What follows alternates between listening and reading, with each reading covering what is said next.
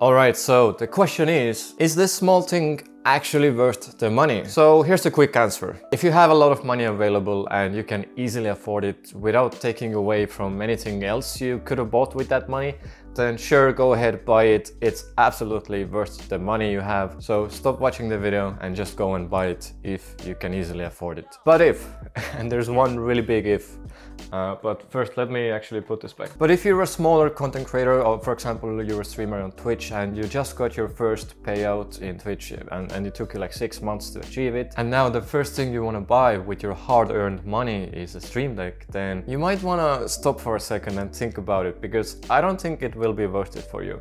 Let me explain. First of all, let's take a look at why Stream Deck is something that everyone could benefit from. It basically acts as an additional keyboard, but with a little bit more fanciness, if that's even a word. One great thing about it is that it pretty much has infinitely more buttons than your actual keyboard has. So let's take a regular Stream Deck for example. Even though it looks like it only has 15 buttons, then in reality we can have 15 folders on those 15 buttons here. And then within each of those folders we can add even more folders. So basically we can add almost infinite folders, I guess, uh, until you discover a black hole or, something. All right, so the second thing is that there's so much customizability within Stream Deck. I promise you, once you get a Stream Deck, you will never get bored of it. For example, I've set a macro for both of my monitors where whenever I press a key on my Stream Deck, it automatically extends my screen to the second monitor. And when I press it again, it automatically closes the second monitor. And another example is actually my favorite feature on the Stream Deck and it is that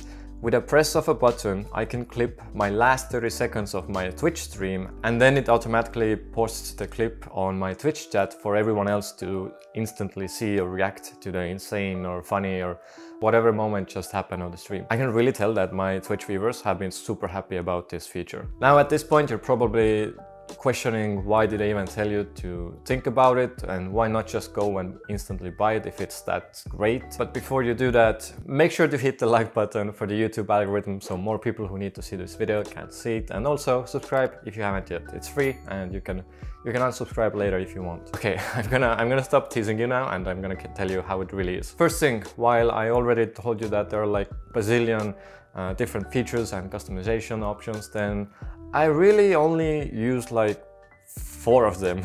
I use four buttons on the Stream Deck regularly. And the reason for this is, well, maybe I'm just a simple person and I, I don't need much, but also, for example, with Spotify, I have a Spotify uh, pause and play button right here, but I still find myself actually opening the Spotify desktop application and just manually doing it with my mouse click, click to click, you know? And I guess it's, it's just a habit that I can't get rid of.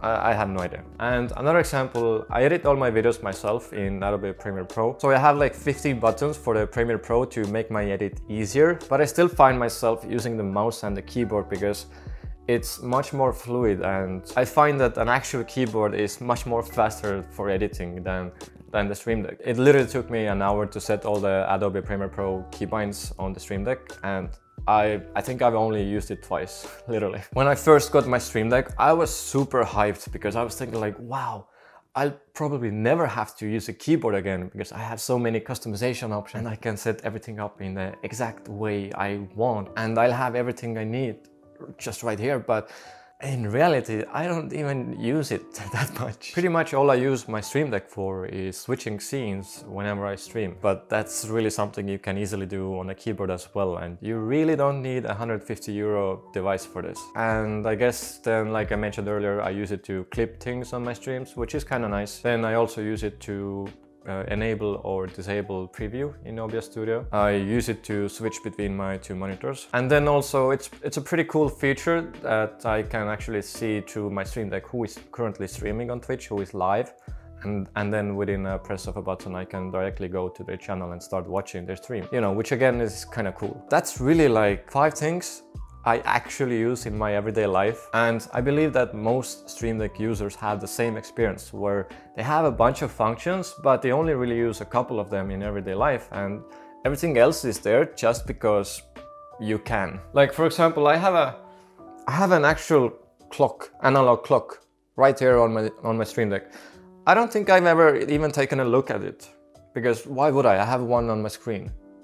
But, but it's here because I can. So yeah, I don't, I don't know what to say. Like, do you really need to spend 140, 150 euros just so you can have a few extra buttons? I don't, I don't think so. Like instead you could save that money and buy something else that you would actually benefit from. And with that comes the second reason why you might want to reconsider buying the Stream Deck. Ask yourself this question. Are you 100% sure that there's not anything else that you could buy with that money that could be even more beneficial for your content or your streams or whatever. For example, if you're a small streamer, think about what you could buy with that money that would 100% benefit not just you but also your viewers. What I mean here is that with that kind of money you could buy a really good microphone or a really good lighting setup for example that would actually change your stream for the better. Like some really good USB microphones in today's age are actually really cheap. For example, my my Razer Siren Mini that I use for my streams cost me 50 euros. But it took my stream quality literally to a next level. And even though the Stream Deck cost me three times more money, then the Stream Deck added nowhere near as much value to the stream than my microphone did. Like to really paint a picture then, yes, when I can switch scenes with my Stream Deck, it's, it's really comfortable for me, but the viewers won't notice it anyways. So if you don't have an abundance of money, then make sure you prioritize the things that actually take your content and your streams to the next level and where the viewers can really see the difference and benefit from it. If you're still 100% sure that you absolutely want to get the Stream Deck, then why are you even watching this video? I mean, go for it. Why not? I like the Stream Deck. It's, it's super good. It's fun. I do think that most streamers or even content creators should eventually get one. But if you're currently thinking that, yeah, I'm, I'm not really sure about it anymore, then that probably means you should spend your money in other ways right now and then come back the Stream Deck sometime later. If this video helped you, then make sure to leave a like on this video so more people can see it and subscribe to my channel as well if you haven't yet. This is it for me today. Thank you so much for watching and I'll see you in the next one. GG.